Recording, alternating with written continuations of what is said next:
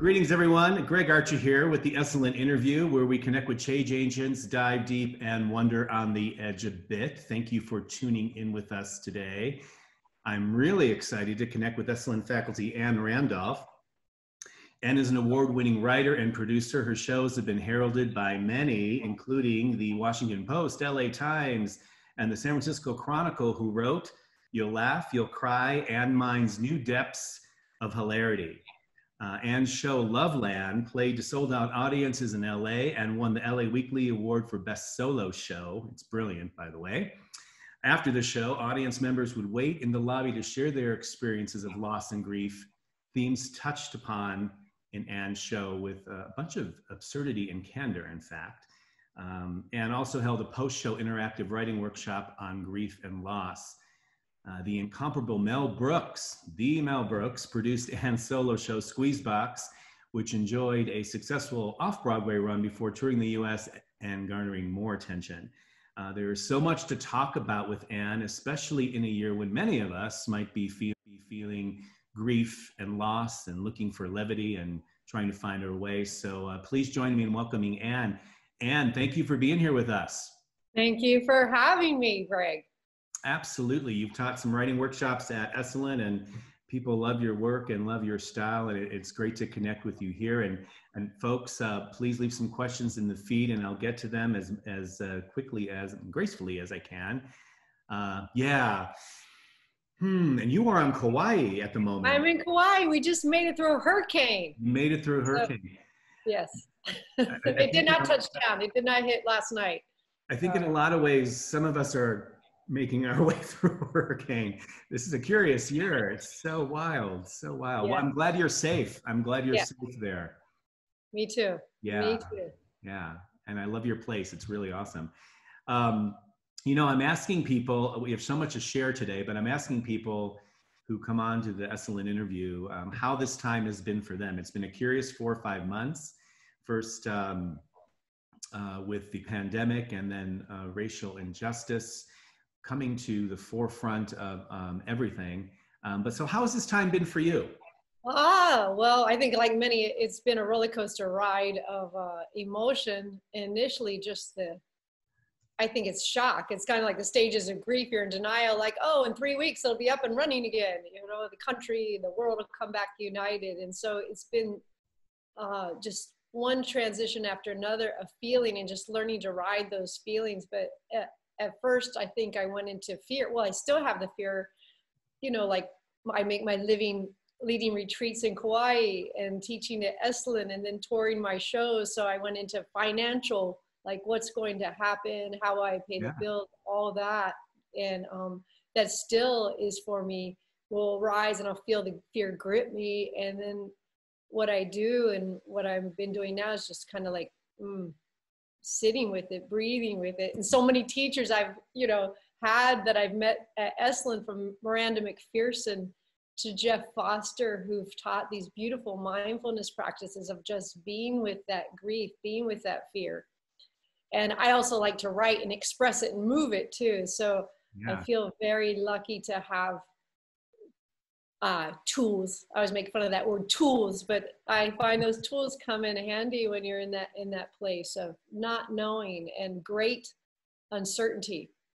The other thing that came right initially when this all began was I had this creative idea for the last two and a half years. I will talk about it. It's called Happy Cock Church.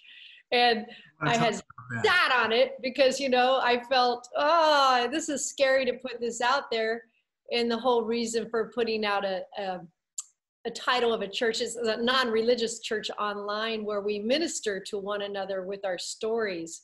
And i chose the cock because here on kauai they've flown the coop the roosters and they're running wild everywhere.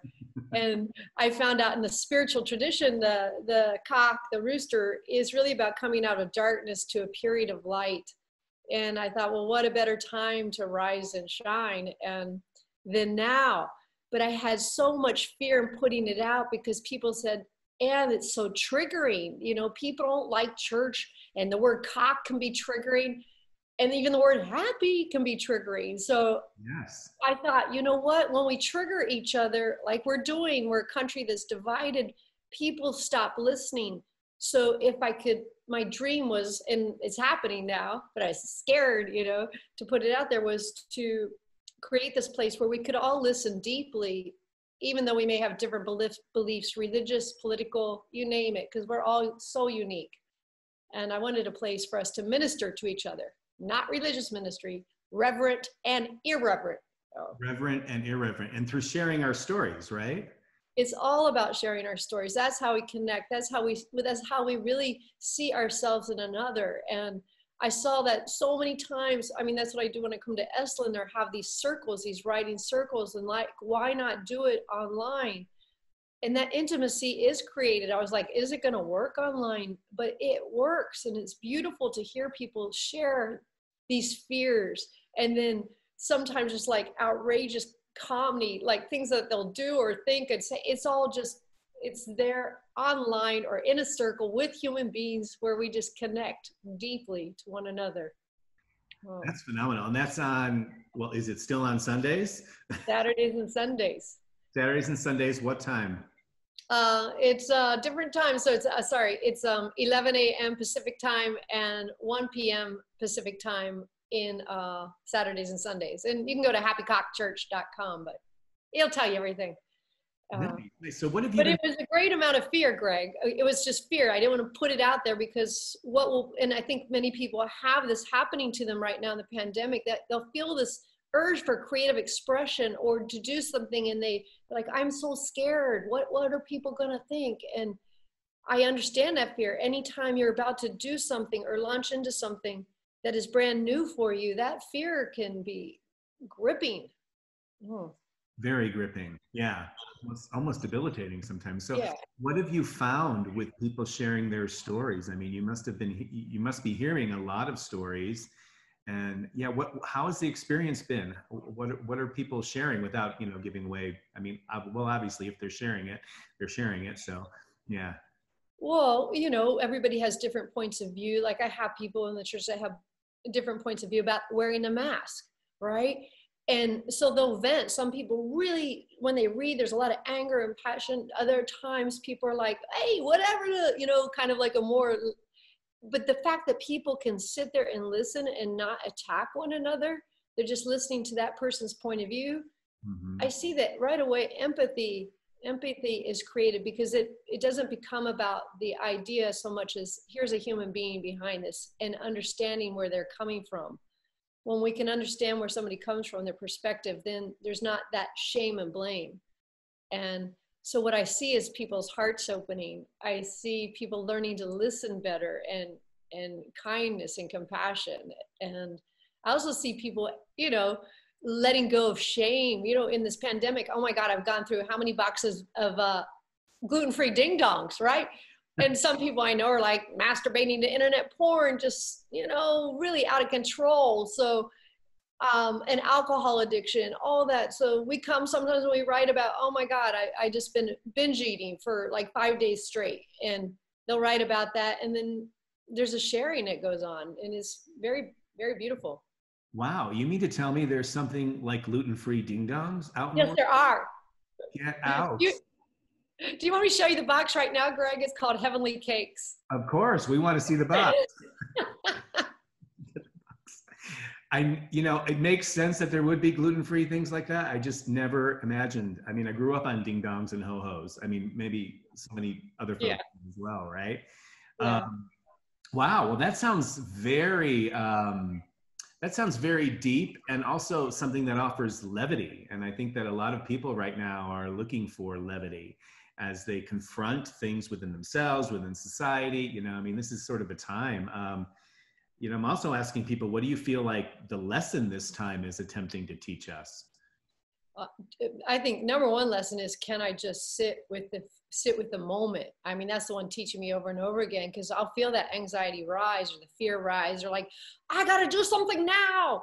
And can I just be with that? Like over and over again, this practice of not trying trying to run from the feeling to trying to avoid the feeling with the gluten-free ding dong which hello i've done i don't know how many times. So can i just be with that uncertainty? You know we're, we're used to being in control. I'm used to being in control knowing when my next gig is or when the next you know i'm going to have a retreat. And when you're not in control it, it's like okay i'm just with myself and how can i how can i be with this this uh these feelings that are uncomfortable and i think also just my meditation practice is uh is i've gotten you know i'm like this is the only way get back on the cushion Ann. get back on the cushion yeah, I can relate to that. I mean, I'm up to like an hour a day, and still, even with that, it's very interesting because I ran like a marathon today with um from with fear. Like I had to do something. I had to, you know, it was like totally in like I couldn't sit still, like I, like an hour after my meditation, and I'm like, well, this is very interesting. that, you know, yeah. I meditated, and I was totally fine during it, and then my mind, you know, it's like the mind kind of knows you're kind of onto it, maybe. Yeah. something. Yeah. I don't know. Um, so yeah. it's like a battle, right? It's like this continual battle. it's like, wow, you're persistent, you interesting mind you. Um, I saw what you were going to say just then, Greg. That's okay.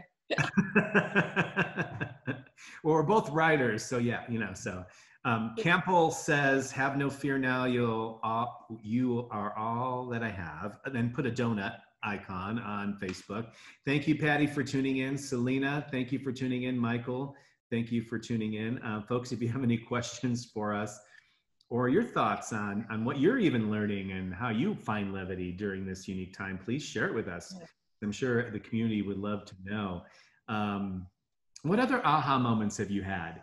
Uh, have there been anything that would, was really like, oh, wow, like, you know, between the pandemic and the racial injustice that we were becoming more aware of. I'm curious, like, um, were there yeah. like big aha moments for you?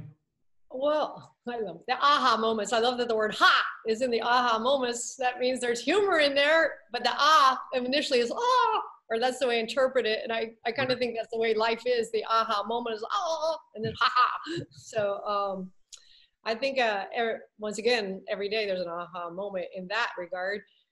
But I think I was really surprised about um, in the pandemic. Well, there's so many things. Is also I have my mom. It'll make me just get emotional. She's in a nursing home in Ohio, and I can't see her. And I usually see her three or four times a week. And I don't know if this it's not really an aha moment, but just feeling that connection of being able to speak to her through uh, on on the Facebook on through the connection of there and yeah and and feeling uh, that I guess that's not so much, but the grief that is there, but also the the love that is expressed gets deeper in this time, and I think I find that, uh, or talking to other people, that they're expressing how much that relationship means to them. They're speaking out loud how they feel. And that's a beautiful thing. And i, I find that i mean my mom and i've always shared but i, I just feel even more closer closer. Mm, that's beautiful. Yeah, yeah, i think um, i think this time is an opportunity for us to really reveal and and share with others what's really what is really so you know?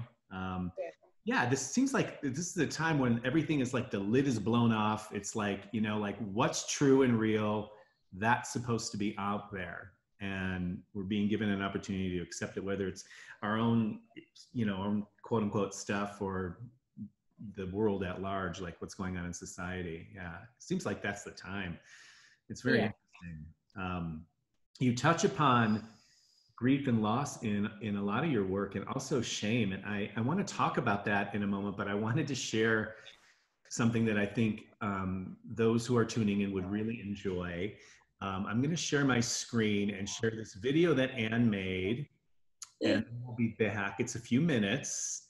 It's called Shameful Flower. And um, here we go. What do you got? This is poor Hila Hila. Why are we whispering? Because, Ann, this is the shameful flower. Mm-hmm. If it feels disturbed, it will close up. Boy, Hila Hila. Yeah. So it's kind of like a, a flower that can be triggered. Yeah. It made me think of you.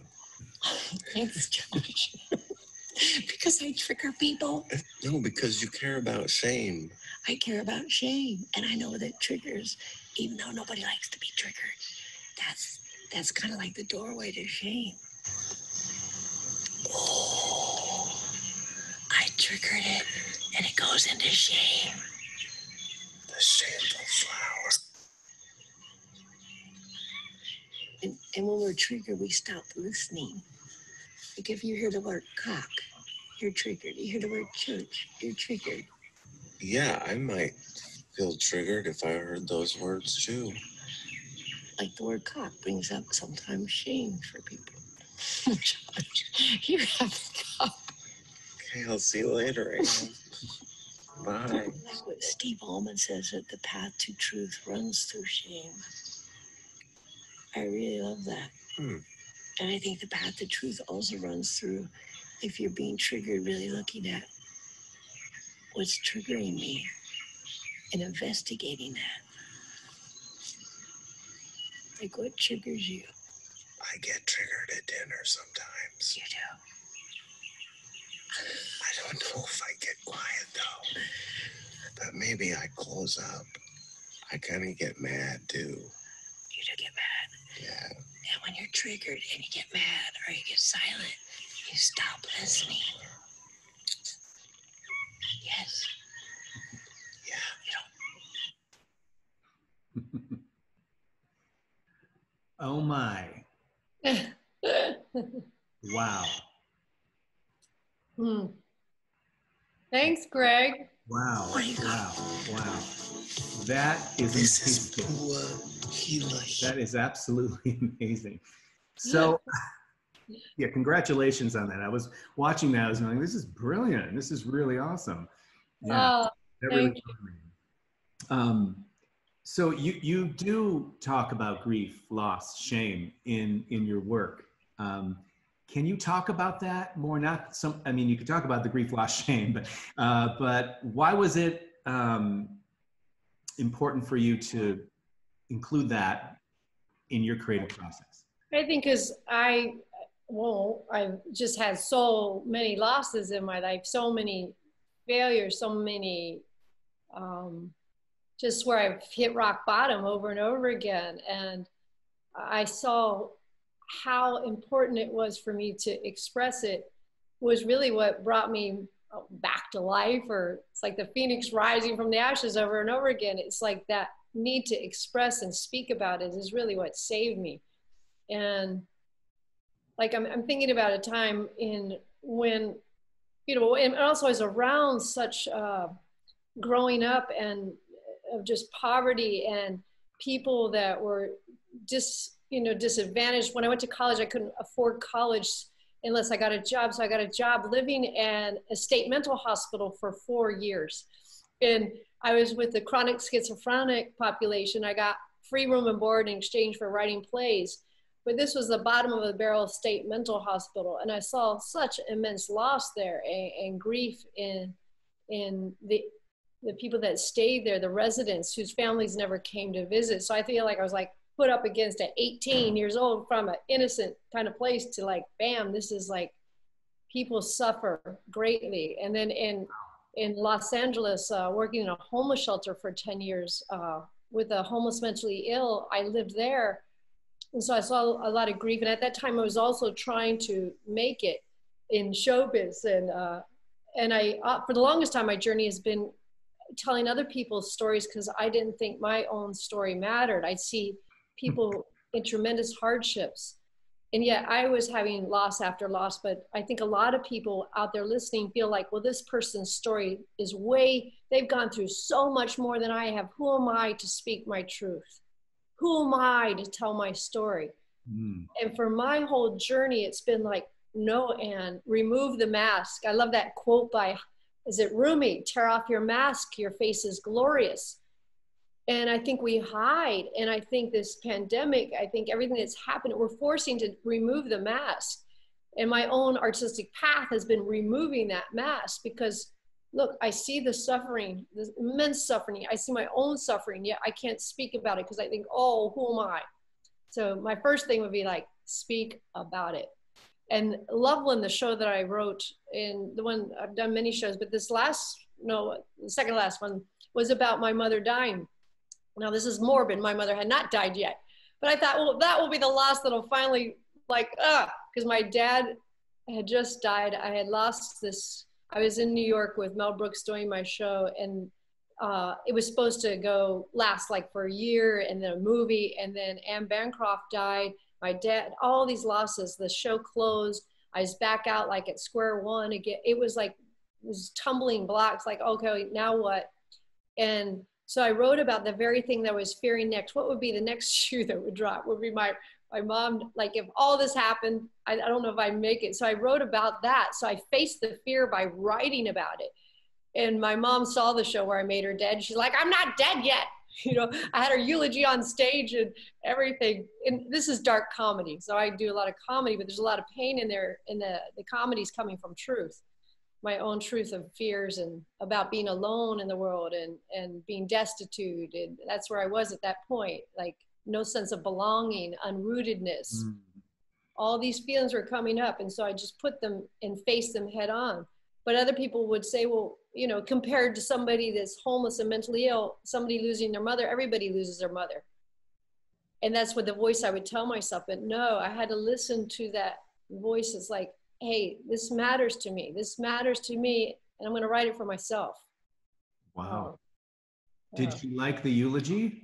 She loved it. You love me. I also made her a cigarette smoking alcoholic. I exaggerated her, and my mother has a great sense of humor, and she she loved it. That is wild. I was going to ask you, you know, when you were younger, growing up, um, were you always somebody that was humorous? Or did you always want to perform? I mean, uh, was there a particular person that really inspired you? You were like, oh, okay, that's the path I want to take. Yeah, yeah, it was definitely Carol Burnett, and then it became uh, Dave Chappelle and Chris Rock were the later on. But Carol Burnett was it because I like playing characters. You know, like I like playing the New Ager who comes to Esalen and teaches meditation. You know, I like like riffing on people. You know, and um, so I was drawn to. My goal was Saturday Night Live, so that's also been my evolution from going to big wild characters to stripping down to myself. But not that I still do an awful lot of comedy. And I was in trouble. I was a class clown, and I was also president of our church youth group just so I could win the talent show. Fascinating. Well, that's I have both things. it's wild. Wow. Yeah. Two yeah. like almost polar opposites, right? Yeah. Yeah. Um, we do have actually a question. Uh, McGilly writes us and says, if you want to write your story and you are on your own with two children in social distancing, any suggestions on how to sit down and start? Yeah. Well, I'm going to plug Happy Cock Church because it's free. You can come be in community and write with us every Saturday and Sunday. The other thing is, I want to speak to you. People think they have to have a chunk of time to write. And you know what? when you get a little break, even 10 minutes, just put down on that piece of paper what I really want to say is dot, dot, dot. Like, mm. don't feel like you have to carve out this huge chunk of time. I understand that not having time. I write shows in between 10 minutes here, 10 minutes there, 10 minutes there. And just grab that time, sit down, and just stream of consciousness, start writing what is up for you. And if you did that, you'd start to see there's themes every day that start to appear that are part of a larger story. It would start to inform you.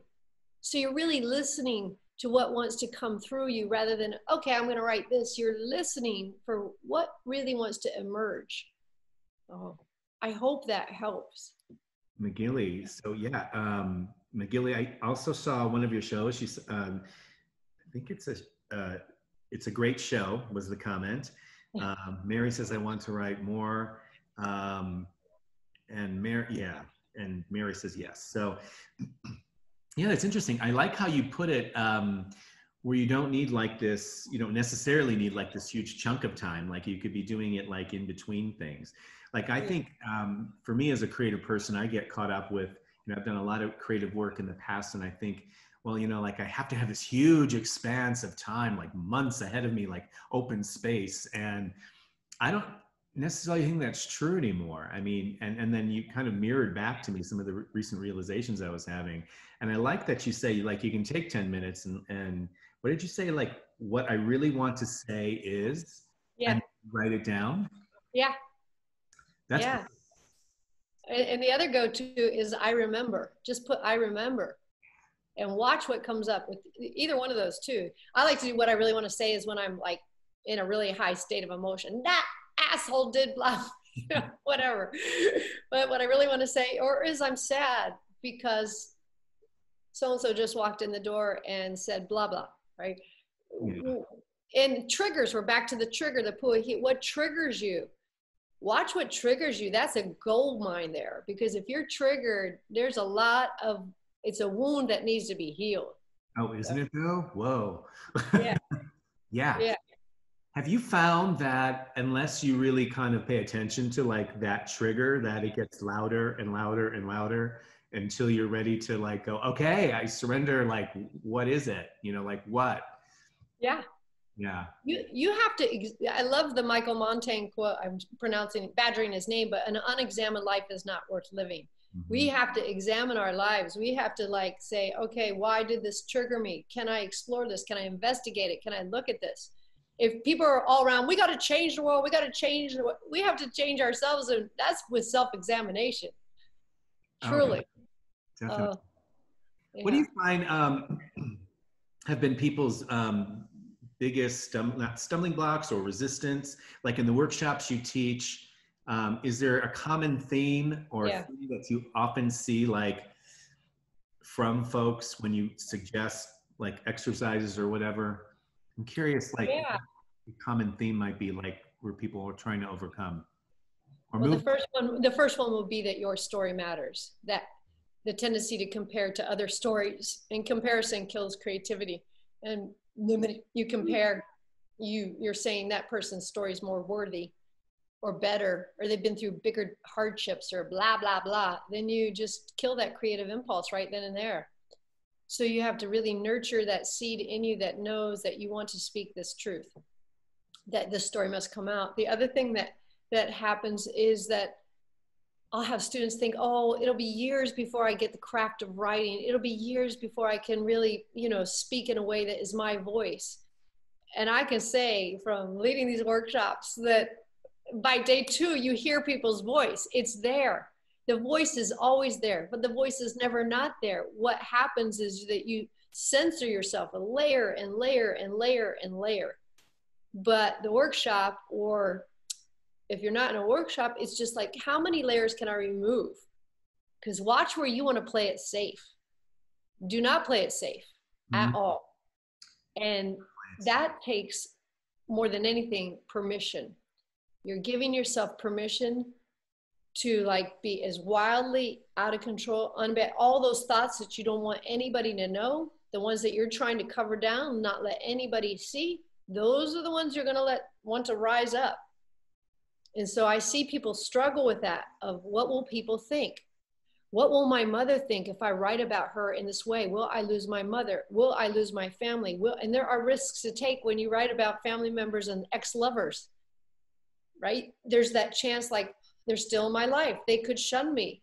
So it's a risk. So I see that come up. Why I'm going to wait till they're dead.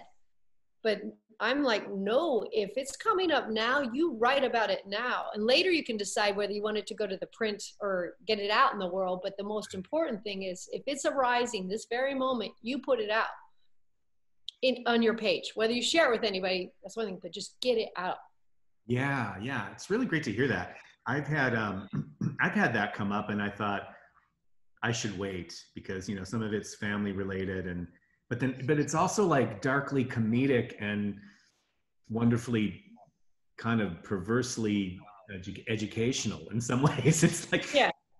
So I think uh, I think you know just in hearing you, I um, I can totally relate to that, and um, yeah. So you you are you are offering me an opportunity to give myself permission to let that out. Yeah. And you're right. You can decide later if you want it to go to print, but to, to Right. Yeah. You can't. And it's also permission to be bad. Like, oh my God, I just write crap, crap, crap, crap, crap. And and that's another thing. People like nothing's coming out. Well, hello, you have to just show up and write an awful lot. And even having to me like what I would say crap writing, there's still the seeds are in there, and I use those seeds. So it's never for naught. It's all good just to show up on that page. Yeah. And I'm also thinking about the because I'm a solo performer. The anthology for solo performance is called Extreme Exposure by Jo Bonney, edited by hmm. Jo Bonney. And I don't think one person that's been a solo performer artist went and got a degree in creative writing. In fact, most of them didn't even go to college. They're just speaking their truth. So the idea that you have to have this master's or PhD, that is not true. It's just unlocking your own voice by removing the mask. Yeah. Giving yourself permission and Yeah. time. Yeah. And that, it's refreshing. You don't necessarily need a, you know, masters to, to venture. Yeah. Yeah, we are our own best story, right? Yeah. We're a walking story. Yes. We're like walking, constantly evolving. Um, Mary asks, uh, how do you feel about journaling and poetry? Oh my gosh, Mary. Well, I love journaling and poetry, and I get inspired by poetry because you know the few words that uh, are on that page. I mean, what is not spoken, and what it leaves for your imagination. I, uh, and I'm not a poet, Mary, but I read poetry every day. I love, of course, Mary Oliver, and I, I love John O'Donohue, and I read David Whyte and I, Ellen Bass, and so I like to read.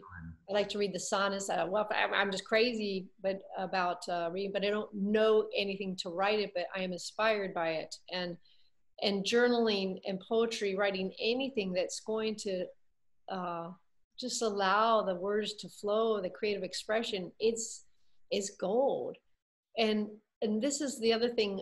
I read this book called Journal Keeper. It was a book, and I don't know if that's such a great title, The Journal Keeper, but it's a she wrote about she was writing a journal about her mother and her mother's death. And she said i'm just going to write these journal notes and then when my mom dies i'll take the journal notes and turn it into a book. Well the actual journal notes became the book and it was like i i could not keep turn it was so riveting. So you take the journal notes and there's no difference to me because it will either be a source material that'll lead to whatever you want to put out there or it'll also itself be a work of art it's beautiful. That book was beautiful. It was just journal entries. Hmm. What's it called again? The Journal Keeper. The Journal Keeper. Yeah. Yeah. The Journal Keeper, folks. Write that down.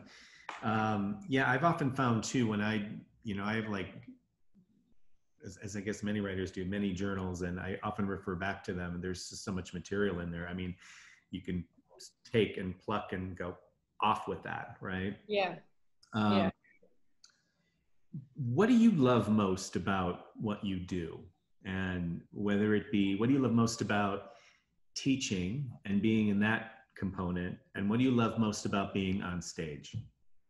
What I love most in teaching is watching uh, students like surprise themselves and and and and unfold. Like I feel like it's like those flowers. Like they come in like here, and then like Yeah. at the end, like these these beautiful flowers of of expression and and watching that is to me just pure beauty to see a student trust their creative impulse and then not hide it but then to share it and and take risks. The tremendous this is something that hasn't been the tremendous courage it takes to put something on the page or to speak it out like takes immense courage.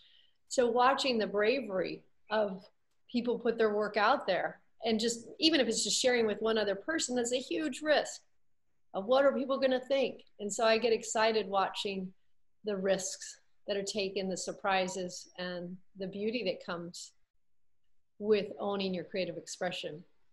And as far as my own performing and being i love being on stage. I love performing. I love the feeling of like like getting the biggest laugh and then pulling the carpet out under and sinking to the depths of, i love i love navigating the ride on stage writing it and also performing it. Like being able to hold an audience like right there and to go bam! You know Yeah. i can't even explain it but it's like a it's like a it's super fun. Because you're like playing you're just you're playing with energy out there and you're in a conversation with that audience. And so you can feel them holding and then you can it's this beautiful dance that's happening. And uh and it makes me, you know, my mind goes a mile a minute, but on stage, when I'm in it, it's like this, this spaciousness. It's like, a, it's like, wow, there's so many ways. I, the moment slows down mm. and it's, uh, it's, it's like, I'm in love with it. Oh, on nights where I don't bomb. on nights where you don't. I mean, every, every, every now and then. I mean, most of the time it's not bombing, but I've definitely had. I did a show one time. I was just working out. Oh, this is the other thing I want to say to people starting out. Hello, you're gonna bomb. Hello, you're gonna have sucking nights. You're gonna just horrible. And I had the show in New York that Mel Brooks produced, and I was coming um, to do my new show, Loveland, at the Marsh in San Francisco, and I was on stage and I had tons of people come to see it because Squeezebox was a huge hit. And so I had all these students, I had fans out there, and I go to do it, and it's a 80 minute solo show. And first three minutes, nobody's laughing. Next five minutes, nobody's laughing. It's like death on stage, just death. It's like the sweat, like I'm bombing. And afterwards, you know, somebody came up to me and said, Oh, and the lighting was nice.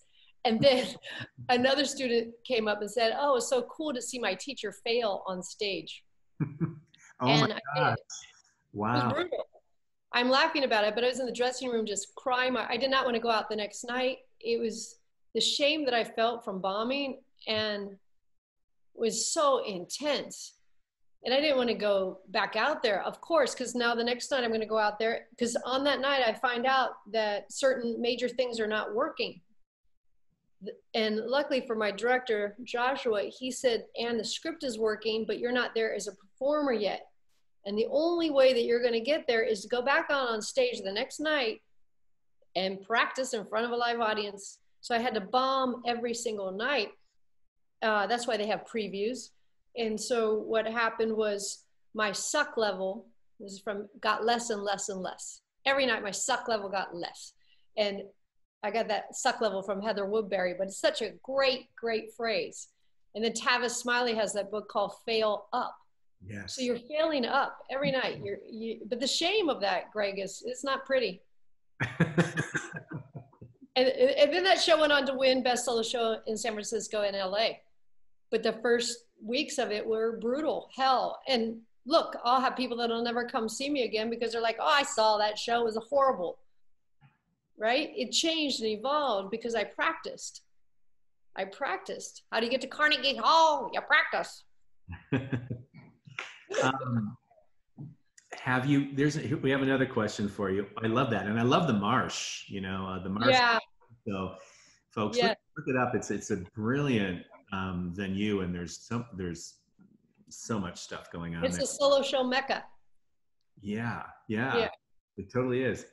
Um, and I pardon me if I don't get this name correctly, but Anandache, Anandache says, have you dealt with feelings of disempowerment during the pandemic, or are you able to hold an inspired perspective, or both? Does feeling disempowered ever feed your inspiration?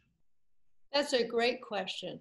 Yes, I've definitely felt disempowered during this thing that I like I've, I've, I, you know, I'm telling you, your story matters. Go out there and do it. But I'll go through periods during this. Does my voice, if I speak about this subject or what's occurring, is it really going to make? And then I do. I just start with that. I start with where I am. Like, if I go back into that question, I think we're always going back and forth from possibility into doubt, possibility into doubt. So I will write about my own doubt I will also move it. I'm a, somebody that likes to get up and write on my feet and start moving. Mm. So what I mean by that is like I will let myself physically get into that place of disempowerment, like like a movement, like oh, ah, and then write and move in that place, because that's what's showing up right now. I'm not like I'm excited for you because you're out there and you're thinking about writing your story. And I know it is the thing to do. But I know you're going to go through periods where you feel disempowered because I do. And then I write through that as well. You're right. I don't feel like doing anything today.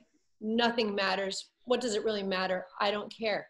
Mm. So when you do that, you start to then drop into something else. But you have to address it where you are, which is like if you're like, screw the world, who cares? I want to die, blah, blah. Put that on the page. And I'm going to tell you something else will be uncovered there. Yeah. It's when you resist it. When you resist it, then you're in trouble. Right, right.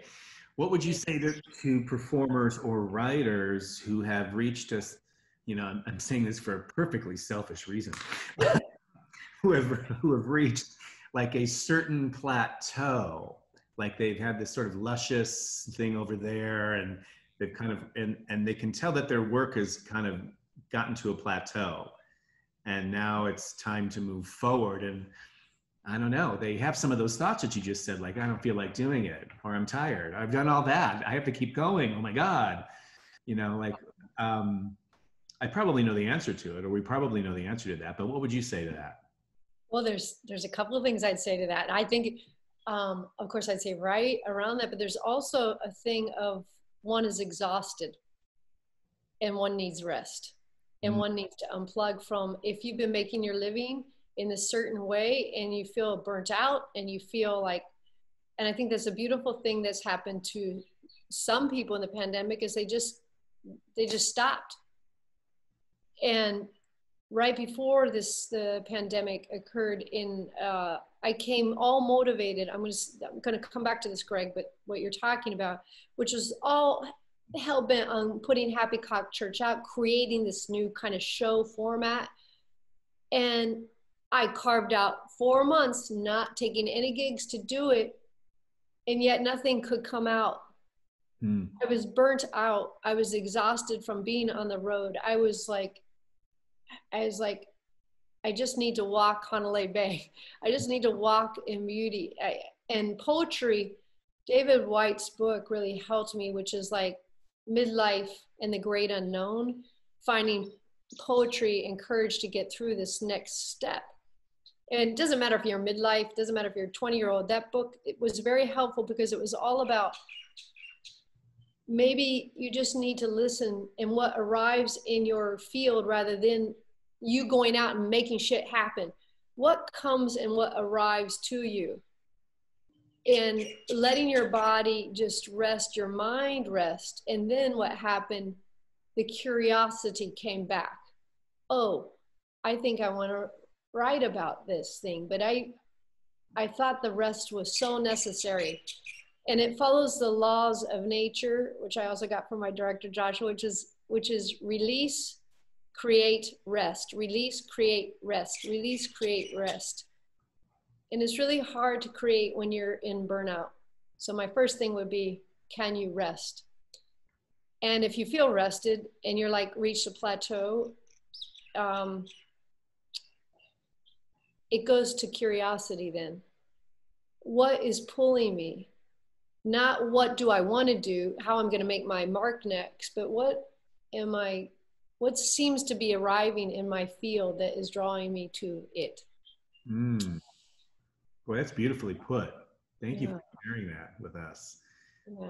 Um, somebody asked David Whyte poetry. Is it David Whyte? Yeah. Yes. And the book is called Midlife in the Great Unknown midlife in the great unknown that sounds like a, a, fascinating book you know i purposely plotted out my midlife crisis when i was 23 just to get it out of the way but i had no idea that 20 something years later i would be going through it again it's like i doubled it's like a recurring one or that i extended it 20 years i don't know it's very interesting um, well, we have a few minutes left here, folks. Um, if you have any questions, please leave them in the feed. Everyone, thank you for your comments. Like more than 36 comments, this is awesome. And um, people are sharing the feed as well. Um, do you feel creativity is, is a wonderful thing to offer levity during these times or in between our own introspective moments now? Yes, it's the way. It is the way. I mean, we are all born creative. We are creative beings, and that expression, whether it's you know creating a lovely meal or creating a flower arrangement or mm-hmm. writing your story, or we we thrive when we create, and so finding that within you setting some time you know you every moment could be creative. I'm, I'm sorry i'm not that person. I would like to be that person. But uh, can I can I just nurture nurture that part of me that has that impulse in the self doubt and the negative and the critical voices? Well, I turn them into characters. that will help you. If your critical voice is acting up just turn it into character or create an alter ego and give it a voice and then it it gives humor to it. So it's like you know you're just a no good whatever it is. It's like you never show up on time. You never finish a project. What's wrong with you right? If i create a character like that that's my internal voice then it'll crack me up and it takes away that charge of the you're not doing enough Ann you know? Yeah. It's an exaggeration that will help you deal with number one that's the other problem people have. They let that inner critic stop them so you have to you have to you're going to hit resistance. You are going to hit resistance. And what are you going to do? You're going to move through it. You're going to say hello resistance. There you are again and i'm showing up anyway. Right right. Um, Catherine, thank you for that. Um, Catherine asks, is there a favorite book about humor that you recommend? Uh, for those of us who are not quote unquote naturals? Ah, well, Catherine, we're all natural. We got to dig down. I love you, but uh, you know, most of the books, I, I don't have a book that is good on humor because to me, the best humor comes from pain. Like it's coming from, like, for me, like out of that darkness is coming the humor. So the best books for me are how can I tap into that darkness and then underneath it, then the humor will come out. But I'm trying to think like if you think about, I'm trying to give you a good example. If you think about uh, Mary Tyler Moore, where she goes to the funeral of the clown that is dying and everybody's serious and she starts getting the giggles. It's so inappropriate. But classic. Just, it's a classic. I mean, look at that Mary Tyler Moore episode uh, um, of Can I Find the Funny in this moment that is just so tragic. Like, uh, and so you're actually, you can, you can start to train your mind to look, is there something funny in this very moment of this person dying? And that episode of Mary Tyler Moore was actually a really good example of that. Um, I think I might post that in the feed just because, yeah, I will. Why not? yeah. um, yeah. The other thing, post the Rumi poem because the Rumi, I dressed up as Rumi. Oh, wait. And the message of we? that was tear off your mask. Your face is glorious. And uh, we can show that, can't we? Well, if you want, but I don't. You sent that to me, correct? Yeah, it's such a it's such a thing about stepping into your of who you are no longer hiding and, and being you okay. i think that's the pandemic more than anything is just be you just be you, you. do not to do anything but be you and I'm people keep like i'm more so i'm going to show this finding freedom with rumi. Yeah. This to us. I'm going to screen share and then we'll come back with just i got a few more questions for you. And, okay. um, we'll, this i shot in hanalei bay in kauai and um it, it's uh it's two minutes or maybe less, but it's you get to see beautiful Hanalei Bay and Kauai, and, and this is where I live. Yeah.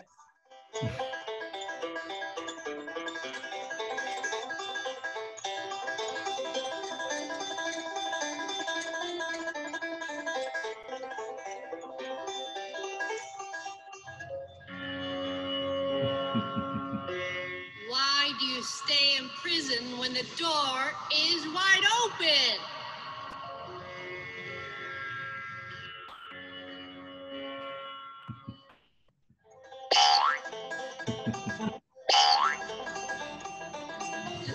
what? Don't you love Rumi?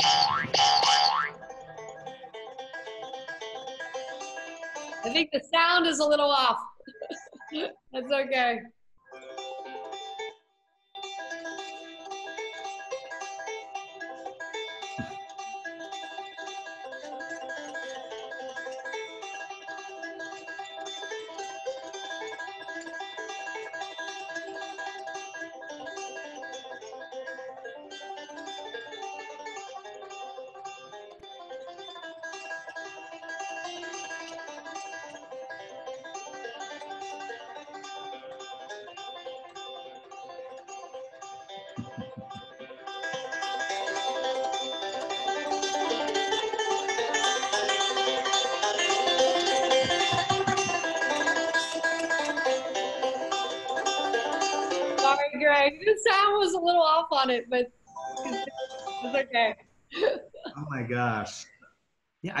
This is so uh, this is this is great. I, this is so well needed.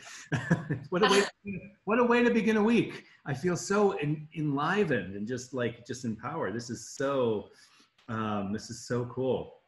Um, Oh. folks, thank you for tuning in. Um, uh, Michelle says, "Be you, aloha from Oahu." Oh, thanks, Michelle. Yeah. Um, somebody asked, "There's a video of you in your bathtub." Yeah, there is. Just I'm gonna be doing more bathtub videos. Yeah, and there'll be a Happy Cock Church, but Sending it to me before we part. I will show that on the way out. Um, the bathtub video. Yeah. up to you. Up to you.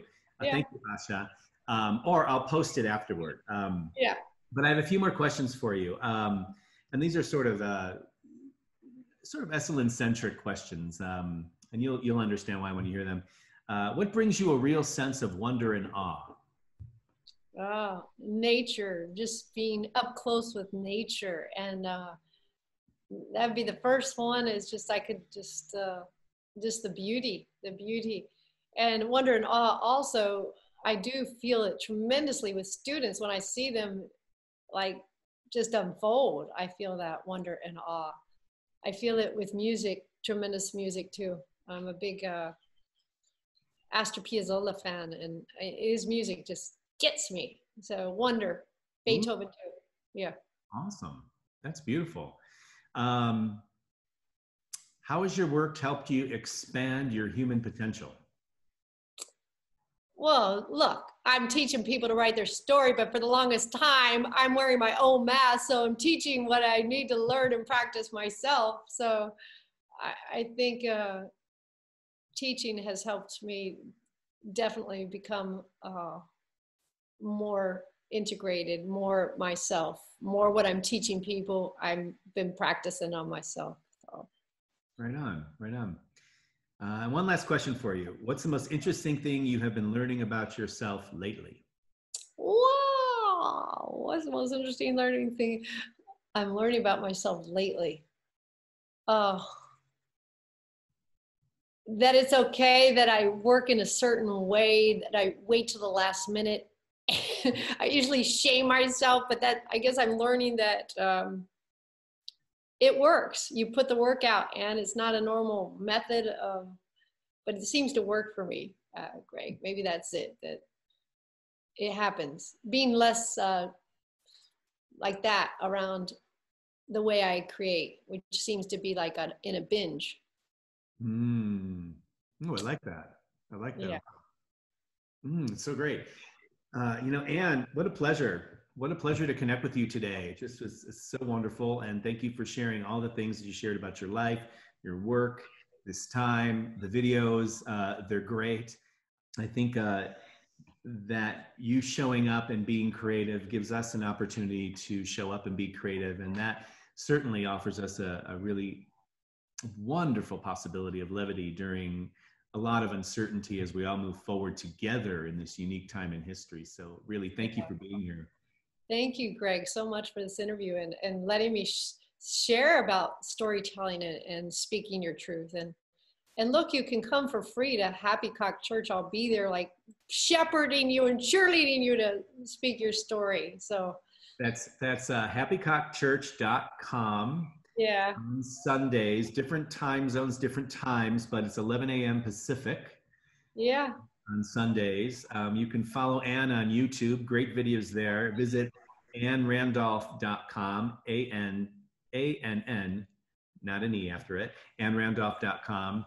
And uh, you can find out more about what Ann is up to and um, inquire within. I like that. Inquire within. I should. I want a T-shirt that says "Inquire." Within.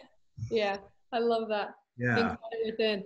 I want a teacher. Teachers like unmute yourself. no, Unmute yourself. Yes. unmute yourself because that's what's crazy right now. It's like I'm I'm afraid when I meet real people out on the street and they're soft spoken, I'm gonna go unmute yourself. yeah. Imagine if we just all did that for like a day or something. You know. I know. unmute yourself.